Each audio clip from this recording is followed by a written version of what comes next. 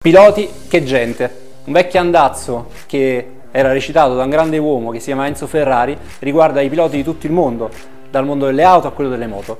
In questo caso parliamo di moto, parliamo soprattutto di vere e proprie teste di casco.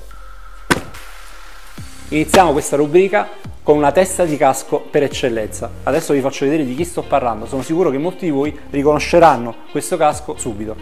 La testa di casco di cui vi voglio parlare oggi è quella di Noriyuki Haga, il samurai brianzolo.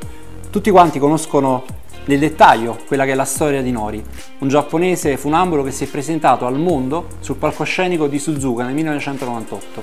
Una tappa che noi italiani ricordiamo bene perché quella fu la gara vinta da Max Biaggi al debutto in 500 in sella alla sua Honda. Nori per tutta la gara sfidò Max, purtroppo fu sconfitto, purtroppo per Nori, per noi italiani invece fu una grandissima giornata di festa, ma Noriyuki riuscì a dare spettacolo, duellando fino alla bandiera a scacchi con Tadayuki Okada, che riuscì ad agguantare il secondo posto in quella giornata.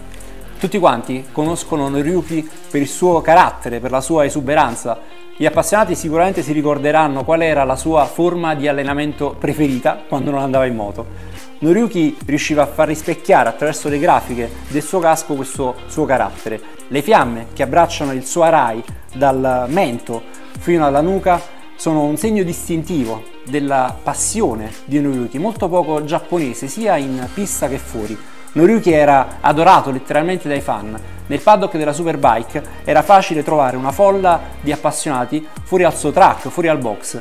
E Nori, da bravo giapponese, era totalmente indifferente, anzi spesso si domandava perché piacesse tanto ai tifosi. La realtà è che Aga aveva un carattere molto poco giapponese, in pista dava vita a dei duelli incredibili, tutti quanti ricordiamo i suoi sorpassi all'interno, i suoi duelli con Fogarty, Slight, con Kosiski, con tutti quanti i re della storia della Superbike. Nori è un re senza corona, ha vinto tantissime manche nel mondiale delle derivate. Ricordiamo tutti quanti il mondiale perso, se così si può dire, nel 2000 a causa della squalifica per uso di efedrina a inizio stagione. Ma tutte le gare di quella stagione sono rimaste impresse nella memoria degli appassionati, come la bellissima Yamaha R7 che guidava in quella stagione indossando proprio questo casco.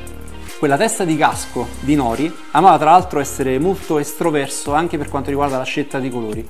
Questa qua è la prima grafica famosa del giapponese, ma in realtà negli anni Noriyuki ha regalato agli appassionati una serie di grafiche diverse che riuscivano tutte ad incarnare perfettamente il suo carattere. Ricordiamo la prima in sella all'R7, successiva a questa qui, che poi è utilizzata anche quando è andata in MotoGP, in sella all'Aprilia RS Cube, poi è tornata in Superbike, quindi c'è la magica grafica con le fiamme, col disegno della bandiera giapponese sulla fronte, che era quella utilizzata negli anni della Yamaha tra il 2007 e il 2008 e poi con la Ducati nel 2009 quando riuscì a contendere a Ben Spiss il titolo di campione del mondo fino all'ultima gara.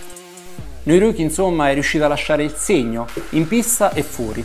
Tantissimi appassionati si ricordano di Nori come il vero vincitore morale di almeno tre mondiali in Superbike. Purtroppo non è mai riuscito a guadagnarsi quella corona, dopo essersi ritirato ha continuato a divertirsi in pista. Tra l'altro oggi tiene dei corsi di guida in Italia perché Noriyuki è una sorta di trapiantato in Italia, grande appassionato della cucina italiana, però ha deciso di aprire un ristorante giapponese a Milano qualche anno fa. Il giapponese di Nagoya, pur non avendo mai vinto un titolo ridato, ha conquistato di diritto un posto nel cuore di tutti gli appassionati.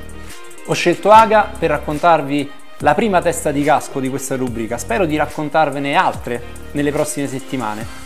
Mi vengono in mente i nomi di Schwanz, Kosiski, Duan, piloti che hanno scritto la storia del motomondiale e della Superbike. Ragazzi mi raccomando, se vi è piaciuto questo video ricordatevi di iscrivervi al canale e attivare la campanella. Non perdete un video di GP1. Ciao!